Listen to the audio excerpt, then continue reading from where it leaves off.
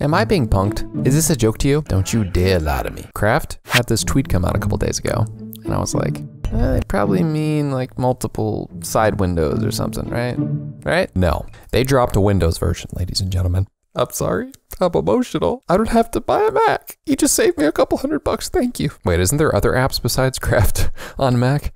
Just kidding. No, there isn't, because this is literally the best app on Mac. It was voted best app on Mac, best new Mac on app, and I get to download it for Windows. Am I being punked? Serious. I'm gonna download this thing. If this works, you have never you've never seen someone this excited about a productivity app in their life. Ladies and gentlemen, we got him. I cannot believe this. I cannot believe it even figured out that I wanted it in dark mode right away. What a wonderful app. It's kind of pretty, yo, and white though. Are you serious right now? Can I actually do stuff? Hey, let's check this out, huh? Let's go into one of these. So if I go slash group or slash block, oh my God. Can I, what can I do here? Can I right click? Okay, I can't right click yet. Can't right click yet. That's something to note. I'm, I'm spamming the button and I, I don't, not sure if I could in the context I'm asking for it, but I, I can't right click yet. But this is better than nothing because this feels better. This just feels better. All right, when we go here to actions, do a lot of different things. That's cool. Can I highlight this and do control G? I can group it like that. Yep. It's got a lot of the base functionality that was there on the web app, but anytime it's in a app form like this. Let's check something really quick. Remember this daily notes sort of situation? I literally couldn't show it the other day. Let's go here. Let's go to today. Let's do a slash two.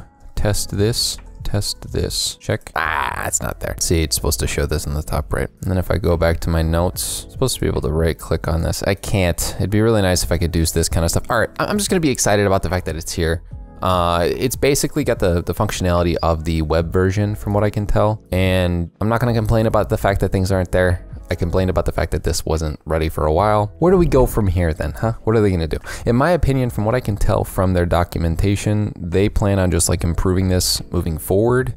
They haven't been somebody who really seemed to want to make a Windows app that wasn't on their forefront. I even uh, I've chatted with people on Craft before. It didn't seem like that was something on their roadmap. So they just threw this on there, and I'm like, you know what? All right, that's cool. And I could be totally wrong, but I think that they're gonna accelerate the growth of this platform immensely because a lot of people really do want this base level of note taking without the whole Notion database functionality. Like this takes all the Evernote users and kind of slaps them in the face on Windows and says, hey, wake up, wake up, that, that Evernote's old.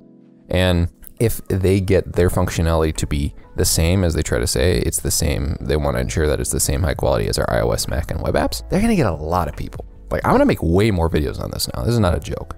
It's not a prank. You're not getting pranked. I thought I was getting pranked. Like once we start getting side view and stuff like that on Windows and, and we get the ease of use that is Craft Docs, we're gonna be excited. And if you wanna ease the use of your productivity even more, check out this video right here.